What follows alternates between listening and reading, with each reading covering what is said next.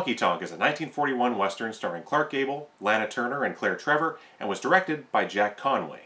When conman Candy Johnson tires of being chased out of every town he passes through, he decides to pick one out for himself that he'll never be tossed out of.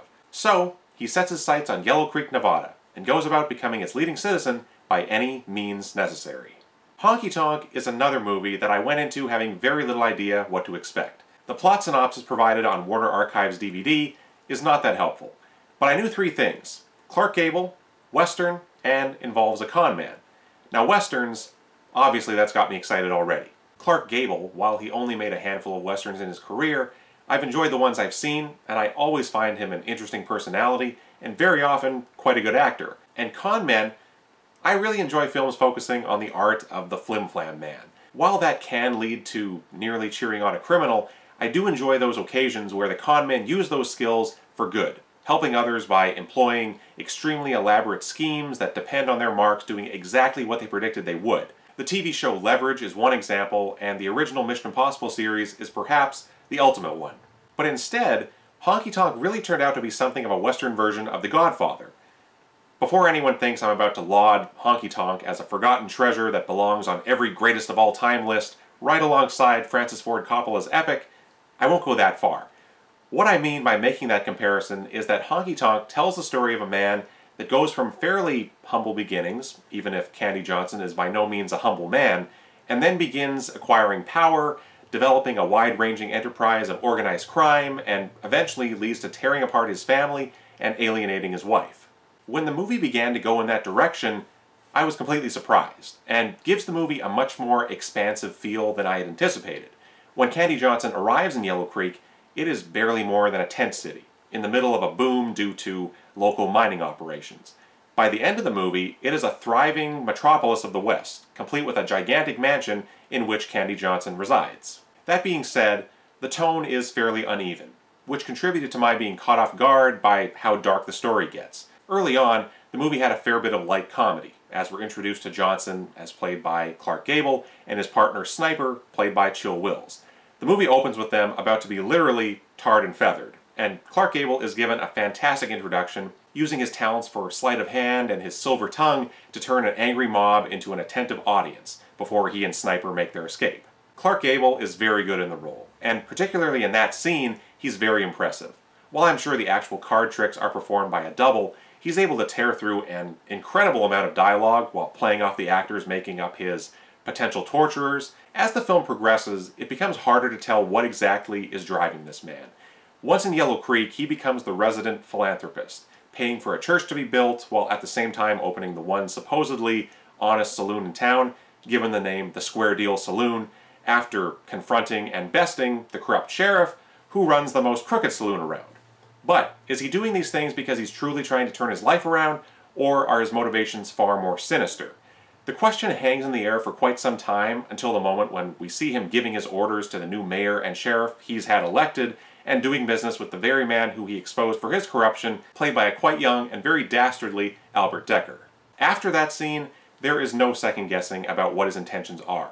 But Clark Gable plays all of these various iterations of Candy Johnson with so much skill, and it's thanks to him that the tonal shifts don't seem as jarring as they otherwise could. He's good as the tough man who's seen too much in the towns he's fleeced, never leaving his house without a gun, He's smooth and charming when meeting with the governor of Nevada and doing deals with all manner of highly connected people. He's cold and ruthless as the backroom negotiations that typify his criminal operations play out. And he can also play light romantic comedy when he's confronted with the affections of both leading ladies, even if his oft imitated squinted eyes and pursed lips are on overdrive in his scenes with Lana Turner. Lana Turner plays the Boston born woman who is new to the West that ends up marrying him when he's in no condition to object. Lana Turner is quite good in the film, even if she looks far too young to be Clark Gable's love interest. That shouldn't be a shock considering the disparity in ages for screen couples that has pervaded throughout film history, but it still feels odd. Her character, too, is very hard to read, up until a certain point. She seems so naive and desperate to ignore the warnings she's given regarding Candy Johnson's lack of commitment until it becomes obvious that she's married him in order to change him, which is always a great idea for a woman to do when smitten with a stereotypical bad boy. I can't decide whether it's the script or her performance that is to blame, but this aspect of her character isn't explored nearly as much as I think it should have been. Rather than fighting to quell his more criminal tendencies, she instead just settles into their new lifestyle of being extraordinarily rich, apparently never questioning how it is they can afford all of this while still being honest. There are some more tragic circumstances that befall her character later in the movie, and I thought during those scenes she was very good. And I won't get into specifics of what happens, but she ends up looking quite drained, wearing little makeup with her hair askew, and for Lana Turner, that really impressed me. I've read John Wayne's complaints of her never allowing her makeup to be disturbed during the making of the sea chase, so her willingness to look slightly less glamorous was admirable, even if it was probably just mandated by MGM, her not having the same degree of star power she would in a few years. Frank Morgan is excellent, playing Lana Turner's father, who is also an aging grifter masquerading as the upstanding judge of Yellow Creek. Frank Morgan is an actor that never fails to impress me, and he's part of several movies I love, the first being his role as Mr. Matuschek in The Shop Around the Corner, and of course, the titular Wizard of Oz. Here, he also is able to navigate the varying tones of the movie wonderfully. To start off, he's the jovial con man, happy to be slipping under the radar and pleased to see his old friend Candy Johnson, even if he doesn't want his daughter to find out about what his true occupation is. But later, he's given the most complete and even moving character arc in the film, as he tries even if it's futile, to save his daughter as he watches her being corrupted by her husband. The scenes as he's pleading with his daughter upon learning of the marriage are really great, and then later, having sunk into alcoholism while living under the same roof as the man he's nearly come to hate. Claire Trevor plays the bad girl of the film, an old friend of Johnson's that ends up working at his new saloon. This isn't exactly a stretch for her to play, as she's probably best remembered for her work in Stagecoach, playing a not dissimilar sort of character, although in Stagecoach she's given much more to do. Here, her main role is to be jealous of Lana Turner and really deliver the speech that drives Lana Turner towards the very misguided and impulsive marriage. That being said, she's very good. She can play a world-weary and hard-bitten woman with an air of carelessness, which is very intentional, but she is given a turning over a new leaf aspect to her later on, which I appreciate. And she does all of this under a series of increasingly elaborate and unwieldy hats. Marjorie Main is fun as a boarding house owner who also is able to rally the townsfolk and stir their consciences when needed. I probably said a similar thing when discussing Percy Kilbride in Fallen Angel a few months back, but when I hear her voice, it makes me feel like I'm a little kid again. I watched the Ma and Pa Kettle series so many times growing up, and seeing her and listening to her just transports me back. And we even get the visual of her standing on a front porch with a double-barreled shotgun, something it seems she was born to do. Chill Wills I've already mentioned, and he's also not given a lot to do, despite being on screen a fair bit as Candy's sidekick. His folksy shtick is quite entertaining though, and I enjoyed his running gambit of sidling up to a table of poker players, appearing to be a novice, just before absconding with most of their money. The movie was directed by Jack Conway, who worked with Clark Gable a number of times, including in Boomtown and The Hucksters later on, and he does quite a good job of keeping the story moving and allowing the movie to focus on the character dynamics, even if their motivations are a little murky at times. The screenplay was by the husband and wife team of Marguerite Roberts and John Sanford.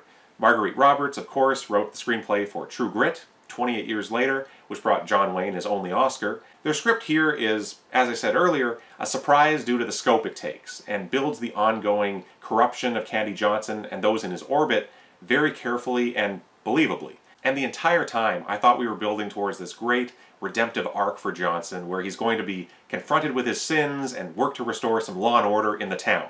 Before I continue, if you have not seen Honky Tonk and don't want it spoiled for you, please jump to the time code below. I realize spoiler warnings for an 82-year-old movie might seem a little goofy, but I wouldn't want it spoiled for me. Now where was I? Oh yeah, that great moment when Candy turns things around isn't quite as satisfying as it should have been. Let me set the stage for you. He has everything. Money, a loving wife, a baby on the way, and then three things happen. His father-in-law is murdered while preparing to expose the truth about Johnson, his wife loses the baby, and the town of Yellow Creek decides it's had enough of the crime lords making off with all their tax money, and it's ready to revolt. And Johnson straps on his gun, goes down and kills Albert Dekker, the main instigator of the current trouble, and the killer of Frank Morgan. So far, so good. Johnson then goes into full conman mode, utilizing his gift for gab, and manages to convince the rest of his mob to run for the hills, taking them from a room full of gun-toting outlaws to scared fugitives in a matter of minutes. That I really liked. I had hoped they would bookend the movie with his showmanship and using his skill for manipulation to first escape a posse of irate men in the opening scene, and then using it to save the town of Yellow Creek at the end, which he did. But I never got the sense that he had reformed in any way. I suppose he doesn't really benefit from saving the town, so that could be seen as some form of selflessness, but when he strides out of the city hall, sneers, and calls the incensed vigilantes suckers, it rubbed me the wrong way. And then we cut to he and Sniper hanging out in yet another hotel in yet another new town, having abandoned his wife. She seeks him out. He asks her, You've liked me the way I always have been, and you don't want me to change, right? And she says, Yes, Candyman. And we fade out. And I was less than thrilled. Frank Morgan warned her that she would be changed by Johnson, and she would never succeed in changing him. And in the closing moments of the movie, it seems he was right. You could argue Candy left her because he was only ruining her life. But it's not like he went into solitude to atone for his actions. He and Sniper are back on the grifting circuit, and now his wife has joined him. I was kind of shocked. I thought the moral bar that movies of the era had to clear would have imposed a different ending. But somehow, it squeaked by with this. Getting back to my Godfather comparison, the first film ends on a really tragic note, with Michael and his wife still together, but at the same time, farther apart than ever. This one is going for a lighthearted ending, but it really didn't work for me. For a Western, Honky Tonk is a very studio-bound film, with much of it taking place on expansive sets, be that the Square Deal Saloon, the boarding house, or the Johnson Mansion later on. That wasn't a shock to me. MGM tended to keep its more expensive films, Western or otherwise, away from the great outdoors. But that worked for this one. It's a very town-based story, so we aren't subjected to a lot of paper-mache rocks and painted backdrops, which is nice. Since it was made in 1941, it did make me wonder if there was some real-world commentary to be found in this story, seeing as it focuses on a man with sinister intentions, enchanting a whole community, seeming to better their lives while really only enriching himself. Whether that was intended to parallel events in Europe at the time, or if it was aimed at politicians in general, I'm not sure, but it's something to think about. Either way, the movie was very popular at the time, becoming the second highest grossing movie of the year, coming in behind Sergeant York. Since then, I feel like this movie has fallen into obscurity somewhat, and I think that's too bad. It isn't a perfect film, and the last act does leave a lot to be desired, but it's a very interesting story with a great cast. If you've never seen it, I'd recommend checking out Honky Tonk. Thanks so much for watching. If you've enjoyed this, I hope you consider checking out some more of my reviews on Hildebrand Productions. Thanks again, and until next time, adios for now.